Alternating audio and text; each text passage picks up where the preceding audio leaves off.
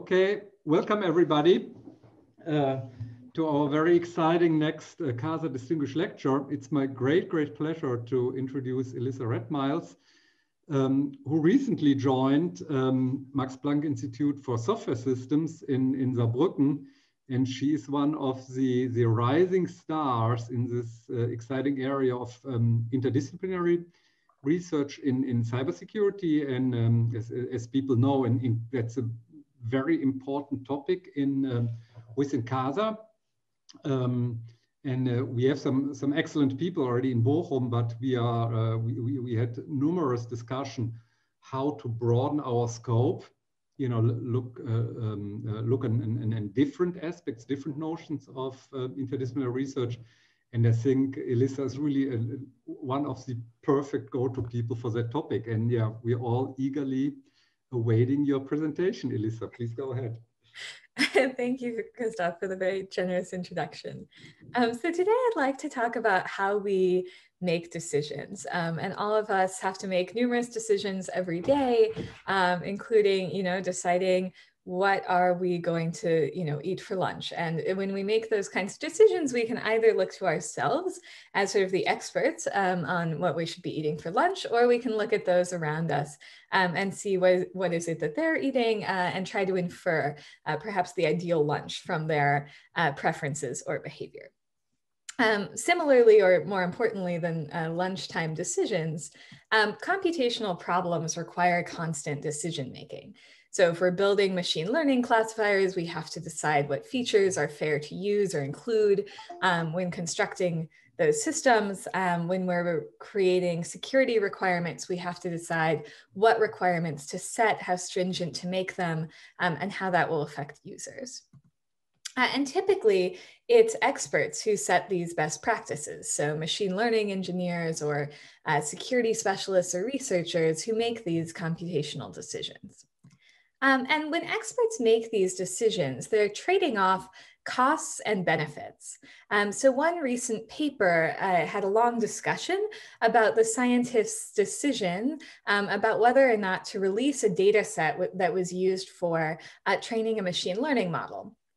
And the scientists discussed how they were trading off the benefit to science from releasing um, this data set against the risk to individuals in the data set that they could be re-identified um, if this data was released. And the scientists in this paper described their normative decision um, to trade off between the benefit to science and the risk to individuals in order to decide whether to release the data.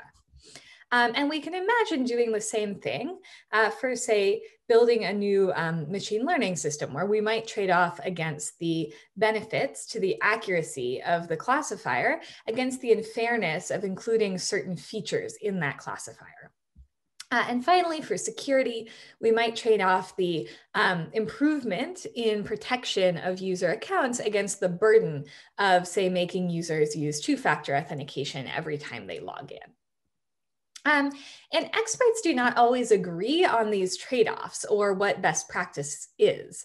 Um, so, if we look in the news or uh, even in our own lives as experts, we'll often see cases um, where experts are disagreeing or even having to revise um, the advice that they've given in the past. Perhaps more importantly, um, users and experts may disagree. So users' beliefs about the proper trade-off between the benefit to their security and the burden of logging into their account or the benefit to science of releasing a data set against the risk to people in that data set, users' beliefs may not necessarily line up with experts' um, decisions about what's best. Um, this disagreement is not something that has recently arisen because of the internet world, um, but is actually a classic tension in moral philosophy. Uh, so going back to when philosophers were discussing how to set laws, um, how to make rules for a society, uh, they were discussing these two different approaches. Uh, and the two approaches were either a normative approach where experts prescribed laws or rules or best practices, or a descriptive approach where we learn from non-experts preferences and behavior and we infer what best practice should be based on what non-experts kind of already do or prefer. Um, and so in this talk, I would like to address the question of whether we can use descriptive approaches where we learn from users in computational decision making. Um, and the goal of using these descriptive approaches is to better align the technologies that we build with people's um, value system, their preferences, and ultimately make systems that both work better uh, and are more likely to be adopted. Um, so in particular, during today's talk, I'm going to address three different case studies using three different descriptive methods um, to see how descriptive approaches can help us with setting security policy, um, determining which features are fair to use in machine learning, um, and deciding what content should be permitted um, in virtual reality. So to, to start out, um, I'd like to take the, the security case study. Um, so in cybersecurity, our goal is often to get users to behave more securely. Um, and one of the ways that we try to get people to behave more securely is we prompt them to do so. Right, so many of us have seen a prompt that looks like this one. Um, this is Google's prompt trying to get people to use uh, two-factor authentication, or they call it two-step verification, um, where you sign up with your phone or um, a YubiKey, et cetera, uh, and you have to enter an extra code when you log in. Uh, and so most companies try to get people to do this by just sort of incessantly prompting them until they sign up. Uh, our question is, can we model how users respond to these prompts and optimize them based on people's natural behavior instead of sort of incessantly poking them? Uh, and the reason we want to do this is despite a whole history of us prompting users to behave more securely, they really don't do it. So the adoption rate of two-factor authentication, for example, at Google is less than 10%. And they've been prompting people for years and years and years. Um, so clearly kind of the approach that we're using is not working as well as we might like. Um, and when security experts think about why users don't behave as expected, why they don't adopt two factor, even when we explain the benefits to them, even when we explain they have risk. Um, one of the quotes that's often said is the user is going to pick dancing pigs over security every time. So basically, people will do anything um, but do security.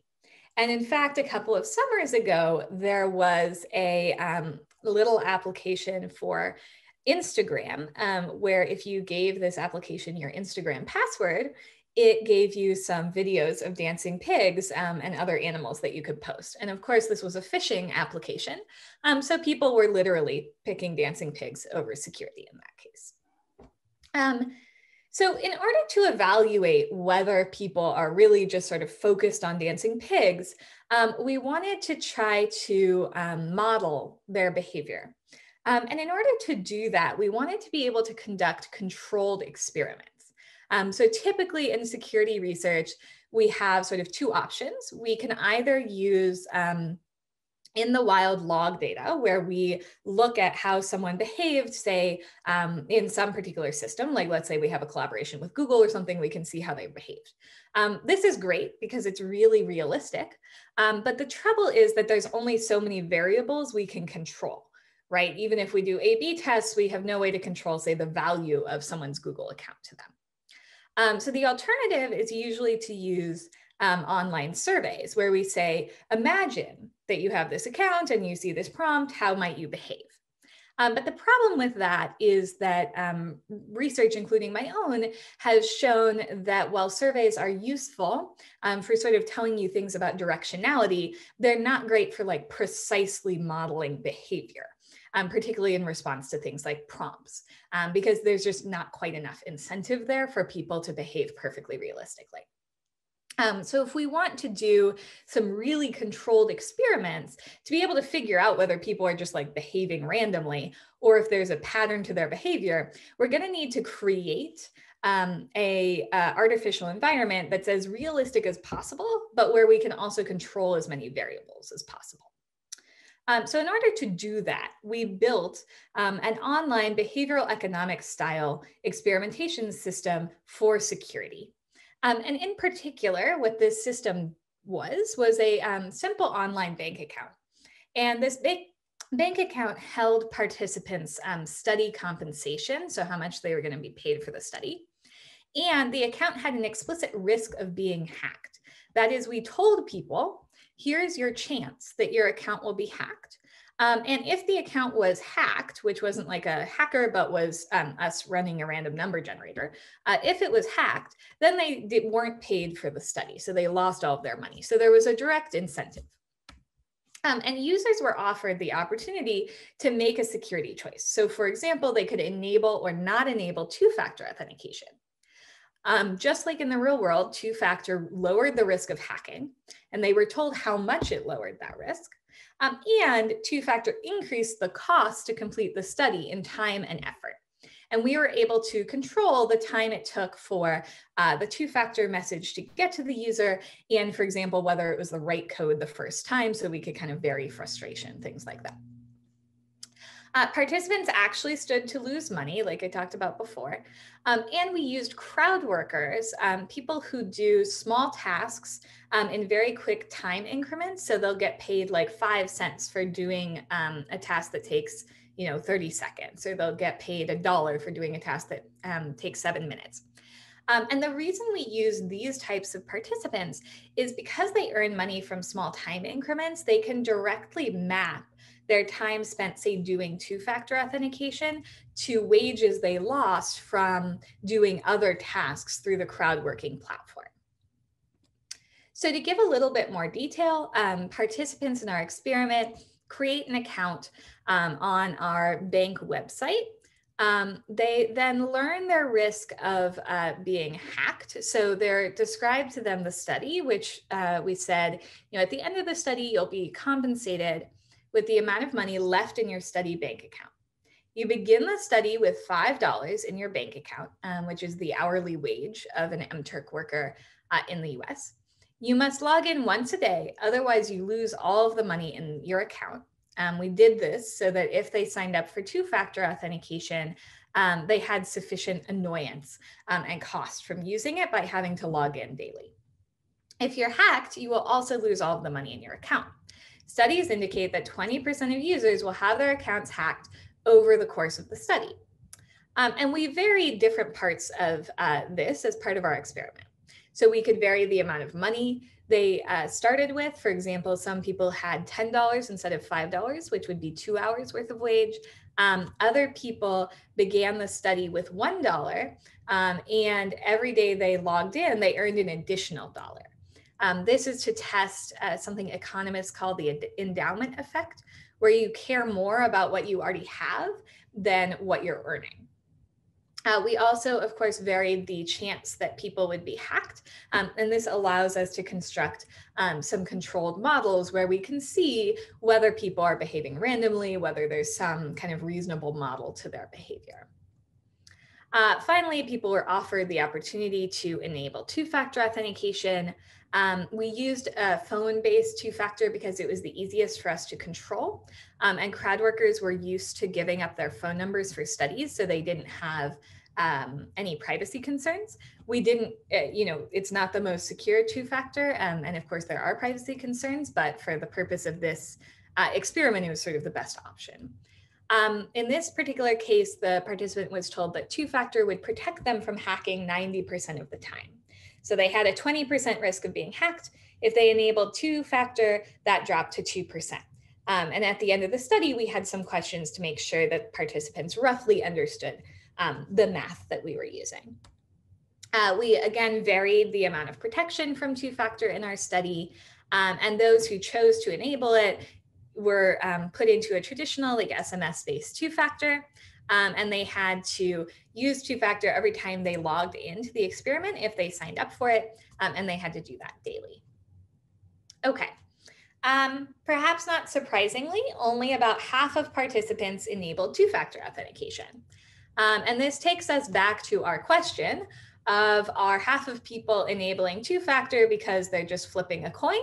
Um, or is there like a consistent pattern in why they're behaving the way that they are? Um, in order to answer that question, we wanted to model their choice to enable two-factor authentication as um, a function of a small number of the factors that we had in the experiment. Um, so first we included the value of their account, for example, whether it was $5 or $10.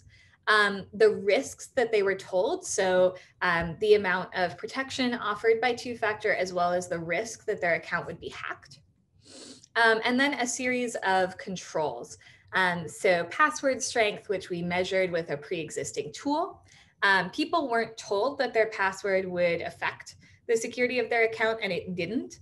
Um, but people may have inferred that it might, given that they've been told that password strength matters for security a lot in the past.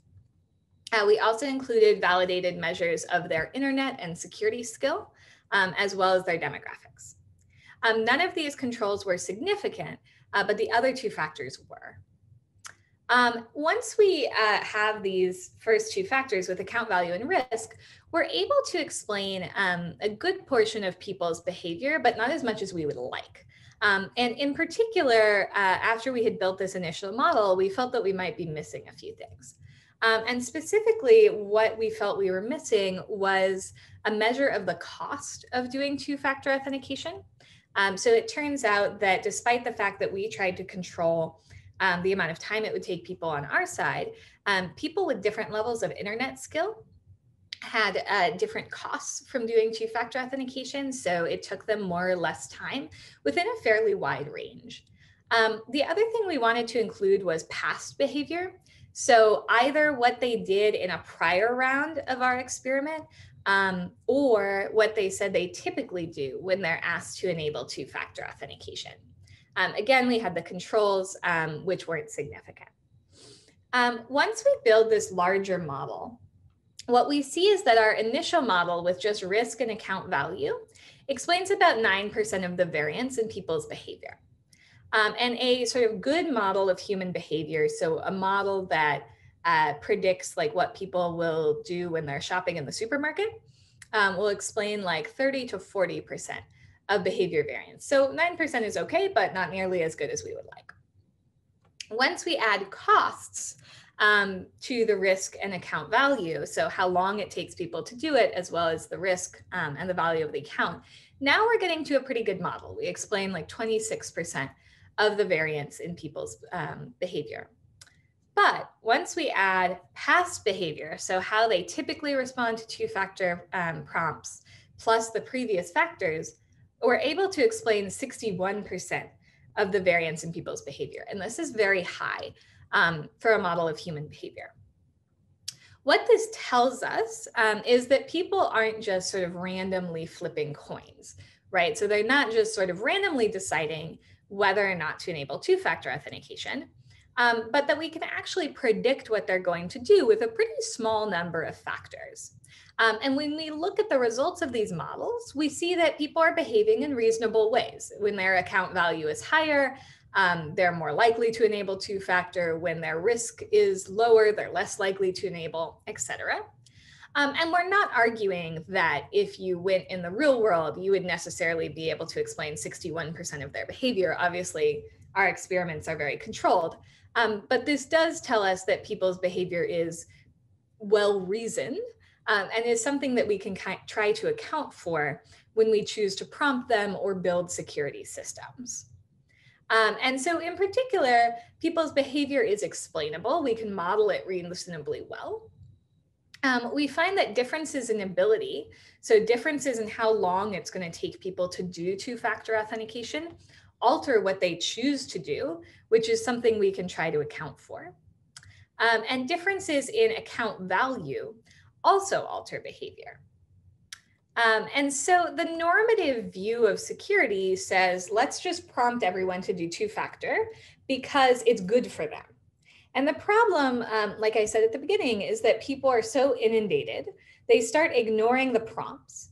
And the other problem is not everyone is getting the same value out of the same behavior. So if it's a lot harder for me to do two-factor, then it's taking me way more time than somebody else. Um, and if I value my account a lot less, then I'm getting a lot less back um, from protecting it. So a descriptive view says, okay, let's learn from people's behavior, where now we know that there are inequities in their ability, in their valuation of their account, et cetera, and that that's influencing what they want to do. And we can distribute different prompts that are customized, say, to show up once someone's account has reached a certain level of value. In the case of a bank, this is pretty easy. In the case of like a social media company, um, you might think about at what point have users spent a certain amount of time on the platform, uploaded a certain amount of content, etc. Um, and we can think about allocating resources. Um, so things like YubiKeys that you plug in your computer and tap, which might be um, easier for particular users to use um, or might be effective for high risk users. So Google, for example, has a program where high risk journalists can get a YubiKey for free um, because it's especially important to protect those accounts. Um, so we used our kind of descriptive approaches to observe people's behavior through our experimental system, infer why they were making the decisions they were making and sort of what their preferences were. Um, but we haven't quite used that to make a decision, right? So I described how we could try to customize prompts, um, but let's make that a little bit more concrete. Uh, we can use a technique from game theory, which is called mechanism design, uh, which can allow us to um, put our descriptive approach into practice. Um, and in particular, we can try to construct a model of um, the system through which users get prompted for security behaviors. Uh, so in particular, we can imagine we have a set of users um, and we have a company. And the company has some different factors that they control. So they control um, what behaviors, security behaviors they offer to users, um, including like how costly those behaviors are going to be, um, as well as how much protection they're going to offer. So for example, there might be a couple of different uh, two-factor approaches they can offer people, some of which are faster slower, and some of which are more or less secure. Um, the company also controls the messages or prompts that it shows users, both in terms of um, what the messages say, as well as when uh, the user is going to be prompted. Um, and the company controls what resources like YubiKeys or a helpline uh, they can offer their users. Um, now, if they use a descriptive approach, they can have a model of users' behavior um, where what the user chooses to do in terms of like whether or not they enable two-factor authentication depends on the user's level of skill, their value of the account, um, and how they've responded to two-factor authentication requests in the past. Um, using this model, the company can predict um, how the user is going to behave given some set of behaviors and prompts and resources they're offered. Uh, the user's behaviors are going to feed into a cost model because, of course, it costs the company um, resources to restore users' accounts or pay them back or et cetera uh, if they're hacked. Um, and it also costs the company some amount to offer these protective behaviors and resources. Um, of course, these costs feed into the company's profit model, as do uh, the profits from the users themselves, for example, through ad revenue um, or interest on their uh, bank balances. Um, this creates a cycle where the company can now try to optimize, say, their profit, um, given some constraints on budget and constraints on how good um, security behaviors can even be, um, where the, the company can try to optimize for a given user or type of user um, what it would make most sense to offer them, when they should prompt them, who they should give resources to. Um, this is useful because it allows us to, um, instead of treating all of the users the same, it allows us to create personalized messages um, and to distribute resources so that um, users are more able to do security and it's more fair.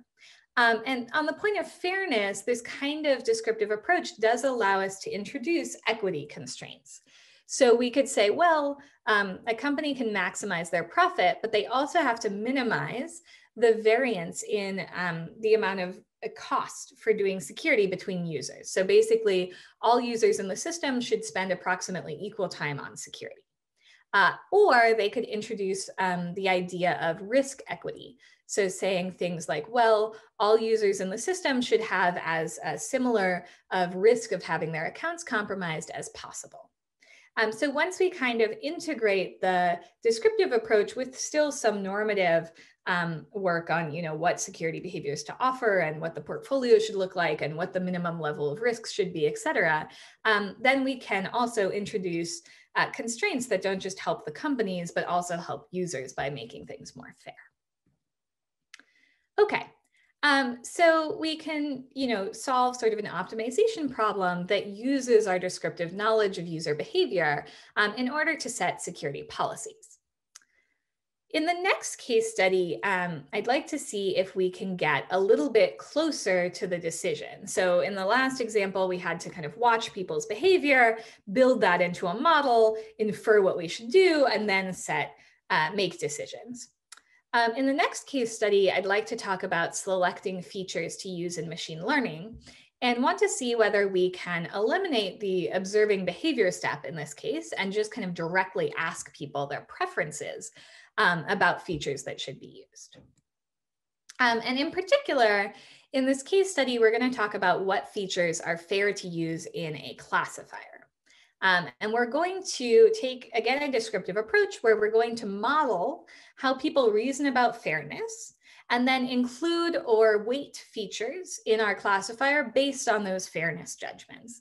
Um, and just like the last case study, before we do this, we of course want to make sure um, that people actually are well reasoned enough that we want to listen to their judgments. Um, so in the prior case, we wanted to make sure they weren't just sort of making random dancing pig choices. Uh, we want to, to make sure that's the case here as well. Um, but let's back up for a moment uh, before, before we dig into this. Why do we even care about whether it's fair to include particular features? Um, we care because users care. Um, and I'll give a brief example um, of why that matters. So um, a number of years ago now in 2015, uh, a news story came out about the fact that Google's algorithm um, was showing prestigious job ads for, you know, very high paying jobs uh, to men, but not to women. Um, and when this news article came out, there was a large amount of outcry. Uh, and as part of um, that outcry, we were trying to understand what is it about this situation specifically that made people really upset. Um, and to answer that question, we wanted to understand like what drove their perceptions um, of the, the harm in this case. Um, and in order to evaluate that, we conducted a number of scenario surveys. Um, so we gave people a scenario very like the one that was going on in the news, um, and we varied different pieces of it. So this was sort of a controlled scenario to understand um, when people's view in terms of how acceptable or unacceptable the scenario described started to change. So we told people uh, things like Systeme is a local technology firm that develops software. They're expanding and they want to hire new employees. They contract with Bezo Media, an online advertising network, which places Systeme's job ad on a local news website. An HR employee at Systeme chooses to target individuals who are Asian rather than individuals who are white. As a result, the ad is shown more frequently to those who are Asian than those who are white. So some people received this scenario, uh, while others received basically the same scenario, but with a different explanation for why the discrimination occurred. So in this case, people were told as Systeme, which is the tech firm hiring people, requested that their ad be shown to viewers who have recently visited technology interest websites. Those who are Asian tend to visit more technology interest websites than those who are white. As a result, the ad is shown more frequently to those who are Asian than those who are white. So in this case, the company requested um, their ad to be shown to particular viewers, and it happens that those viewers have a certain demographic, whereas in the prior case, an employee specifically asked to target individuals based on demographics. Uh, we had other variants. Um, for example, maybe the ad network charges less to reach those who are Asian than those who are white, and Systeme's um, computer program automatically selected the less expensive option. The result is the same, so on and so forth. Um, and so what we wanted to measure was the effect of varying the beneficiary. So was it a majority group or a minority group who is benefiting? The targeting mechanism. So was it a human or was it an algorithm? Um, and the targeted features. Was it based on like clicks or cost or explicit demographics? Um, and in order to answer our questions about, you know, what was driving people's perceptions of discrimination here, um, we collected some training data on a crowdsourcing website where people took our survey. Um, we trained our regression models on that. Um, and then we collected a uh, larger census representative, so with demographics matching the US um, online survey panel, and did like five-fold cross-validation on our trained models, um, which fit well. Um, and what we find out from constructing these um, models on our survey dataset is that features are a key factor of perceived fairness. So people, um, the main thing driving people's perception of fairness in these scenarios was whether um, the discrimination occurred because there was targeting done based on explicit demographics or based on people's like click patterns where there happened to be a demographic correlation. Um, so for example, here we can see uh, a much larger percentage of people um, who think it's a, a, problem if there's explicit demographic targeting. Um, the mechanism of targeting, whether it was human or an algorithm, didn't matter. Um, and majority groups always perceived um, minority groups benefiting as less problematic. It didn't matter which minority group it was. Um, whereas minority groups find all of the scenarios more problematic than majority groups, regardless of whether their group was benefiting. Um, but the thing that's most important to us here for the nature of this talk is that features were a really important piece of people's perceptions of fairness. Um, and so because of this, we wanted to understand whether we could use people's judgments to help us um, build classifiers that would have features people perceived as more fair. Um, and we're going to take a different uh, example scenario um, in this case because there was never um, information released about how the, the Google uh, situation that happened with the job ads happened. Um, but a different situation that happened that caused a lot of outcry, uh, the features involved in the model were released. Um, and that was for the COMPAS system. So the COMPAS system is an algorithm that's been used in uh, Florida to help judges make decisions about which criminals to release on bail. Um, so basically, the judge can decide that you have to pay a certain amount. Um, and if you pay this amount, you're allowed to go home while you wait for your trial. Um, and the idea is that you only release people on bail who are unlikely to commit another crime during the time where they're waiting for their trial. Um, and so this COMPAS system uh, the goal of it is to output a rating about someone's chance of recidivating, so committing another crime. Um, and the judge can use that output to help them decide whether or not someone should get bail. Um, and there was a lot of outcry that happened when people found out about the system. Um, and part of the reason for that outcry was that um, the system was using a questionnaire as the way that it um, determined people's risk of recidivism. And that questionnaire included questions about the person's current um, charge, the criminal history of their family and friends, their performance in grade school, their mental health status, etc. Um, there was nothing legally sensitive. So unlike our last scenario, no race, no gender were explicitly used. Um, but people still had concerns about things like, for example, including people's performance in kindergarten um, as part of the prediction or including the criminal history of their family and friends, which they can't control um, in this type of algorithm. Um, and so these, uh, these um, features were input into the algorithm and uh, used in order to determine a chance of recidivism. Um, and we want to determine which of these people perceive as unfair. Um, and in a, in a traditional like um, legal system, judges are the ones who get to decide whether or not particular information or features are not fair. So they can decide that, for example, the criminal history of family and friends is irrelevant um, and they can kick it out.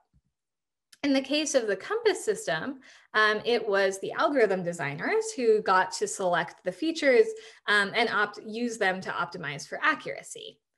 Um, and they got to pick uh, which features were unfair to include. For example, they didn't include like race or gender.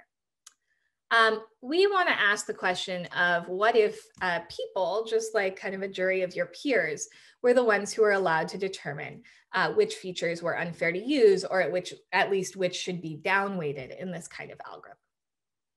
In order to do that, we need to make sure that people actually have some beliefs about the fairness of these features.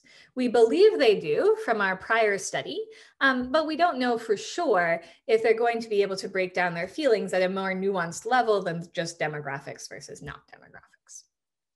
Um, so we again use a scenario-based survey in order to assess people's beliefs. Um, so we tell them judges in Broward County, Florida have started using a computer program to help them decide which defendants can be released on bail before trial. The computer program they're using takes into account information about the defendant's stability of employment and living situation. Um, and depending on the question, we varied um, what they were told in the bolded sentence uh, because there were 10 different types of COMPAS features. Uh, for example, the computer program will take into account the defendant's answer to the following question. How often do you have trouble paying bills? Uh, people were then asked to uh, rate if it was fair to determine whether a person can be released on bail using information about their stability of their employment and living situation. And they made this rating on a scale from one to seven. Um, we pre-tested these questions through what are called cognitive interviews, where people think aloud while they take the survey to make sure that they comprehended uh, the questions. And like in our other example, we used um, two different samples, but found that our, the findings were consistent across both samples. Uh, what we find is that people have different views about the fairness of different pieces of information being included in this classifier. So um, with seven being the most fair, we see that on average, people think it's very fair to include the person's current charges or their own criminal history in the classification. Um, the substance abuse and employment stability are sort of medium fairness, while including information about the quality of someone's social life, um, their education and school record, or the criminal history of their friends and family were generally considered quite unfair. Um, but although we find that people have views about whether these features are fair, um, we find that there's a lack of consensus in their beliefs. So it's not the case that sort of everyone feels the same way about the fairness of these different features, but it is the case that people have views about the fairness. Um, and this lack of consensus made us concerned because if we're trying to determine what features go in a classifier based on people's beliefs, um, we don't want to sort of cherry pick which beliefs we follow. And it's also not clear if there's lack of consensus that going with sort of the average belief is going to be the right representation. So we wanted to dig in a little bit more and see if we could figure out why people are lacking consensus. Um, in order to do that, we wanted to break down fairness into a set of um, sort of sub questions. And we drew these sub questions from prior literature. So we looked at legal, philosophical, um, economic, et cetera, literature um, to figure out how experts had reasoned about fairness in the past. And what we saw was that fairness really decomposed into questions like, is this feature able to be reliably assessed? assessed? Is this feature relevant to the decision at hand? Is this feature private? So in the case of kind of traditional legal, we would ask the question like, has was there a warrant obtained to get this information? Um, does this feature cause, including this feature, cause disparity in outcomes? Um, is this feature like highly correlated with membership in a sensitive group? Questions like this. Um, what we wanted to know was if we asked end users these types of questions and also asked them the fairness of using a particular feature, could we get from the answers to these sub questions to the feature fairness? And what we find is the answer is resoundingly yes. So we have 88% accuracy when we're predicting whether or not a given person will think that a feature is fair to use based on how they rate the feature. So um, a particular user um, who rates some particular feature as quite reliable, not at all relevant, mm, relatively private, and very volitional is going to have the same view about the fairness of using that feature as another user who had the same ratings on the eight properties. Um, but a user who had different ratings on those eight properties is going to reach a different belief about fairness. The reason this matters is that people were very consistent in their mapping from properties to fairness with that 88% accuracy, um, but they were not very consistent in terms of how they rated the features. Um, so what this tells us is that descriptive work looking at um, lay user preferences is a really useful for finding the mapping function from the properties to the fairness. Um, but we need normative experts to evaluate the properties. So judges, um, economists, philosophers, et cetera, are well trained in evaluating these kinds of properties, but their individual judgment um, about how those properties match to fairness may not be as well representative as building a model based on a whole bunch of responses, um, which will end up being quite consistent, at least within a particular um, culture, in this case, the US. You know, ultimately in the future, we'd even love to be able to computationally evaluate some of these properties, particularly like causal properties that are hard for experts to evaluate. And we could imagine having a combined system where the properties that can be computationally evaluated are, experts make evaluations for those that cannot be computationally evaluated, and then a descriptive model helps us map from those properties to the fairness and determine what we might want to include in a classifier. Um, and in particular, um, I've pasted the, the paper here. Uh, we use a very similar approach to uh, what I described in the last um, case study, where we use an optimization to have uh, fairness ratings determined by this user mapping function as constraints for trying to optimize accuracy in this type of a system. Okay, um, so in the final brief case study, I want to talk about whether we can get to the decision even faster. In some cases, can we just work directly with users um, to establish our set of guidelines? Um, and I want to consider this question in the context of virtual reality. Um, so a couple of years ago, and even still now, uh, virtual reality was relatively uh, low in adoption. And so there were very few standards for uh, what should be happening in VR, what was an appropriate um, set of content, etc. Um, and so we had done an interview study with VR users and developers in 2017. Um, and we kept hearing from developers that they really needed guidelines or assistance. Um, so for example, one developer said there's quite a big list of unknowns right now in terms of what's best etiquette for a user and what's going to keep the user the most safe, comfortable, and satisfied. And another developer said, well, the fact of the matter is there are no VR power users and I can count on the number, my hand, the number of experienced developers I've actually met. And our developer interview participants kept asking us if we could give them guidelines for how to keep people safe in VR and what they should be doing. Um, and we thought, well, it's not clear that we as researchers should be normatively setting uh, the rules here. Why don't we try to see if the developer community can kind of create that set of standards within um, as a very kind of extreme descriptive approach? And so what we did was we distilled six sort of high level principles principles um, that we thought made sense for ethical VR development based on both our interviews with developers and with users. And we invited uh, 11 online communities of VR developers to edit um, our draft set of principles. And this is what the document looked like in the midst of being edited. Um, so people had added new principles, they were revising our principles, they were uh, commenting to each other, etc.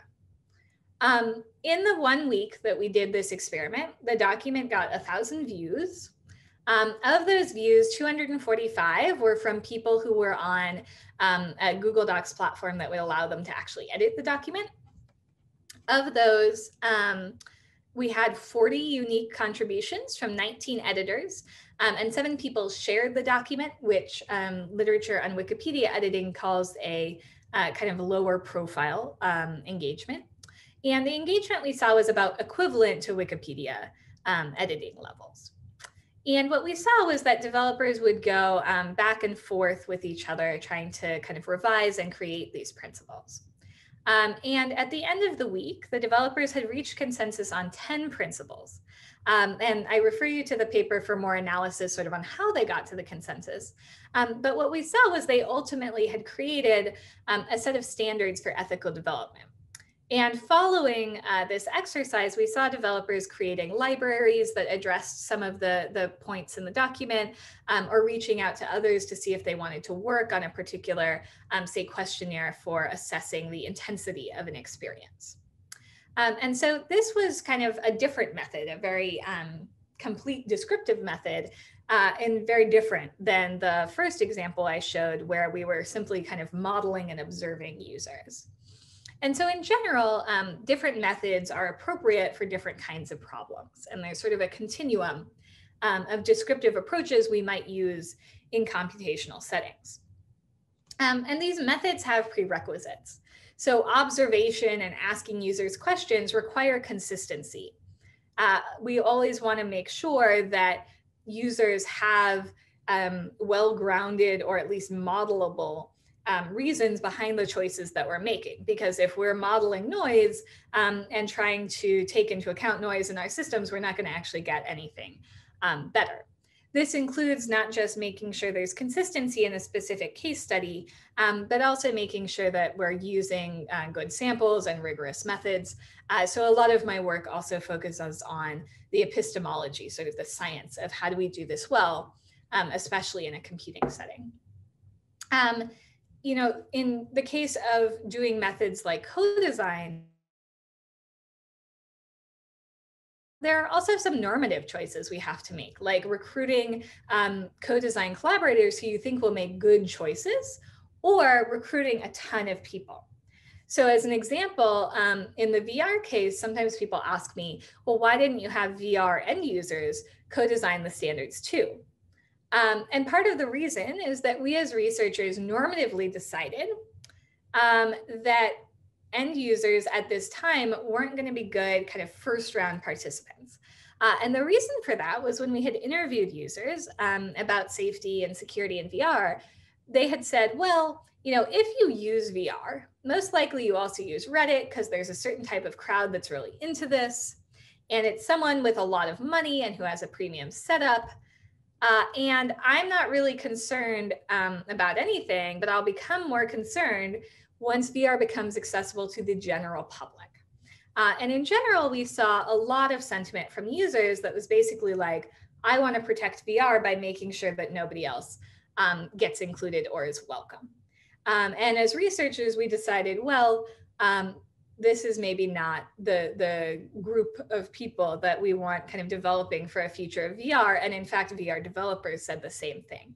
Um, but of course, that was sort of a normative choice by us as researchers to exclude a particular group from at least the first round of creating the ethical standards. So there's always a balance um, between descriptive and normative approaches. In the case of security, there's normative expert judgment about what um, you know security behaviors are going to be effective for users and which to offer.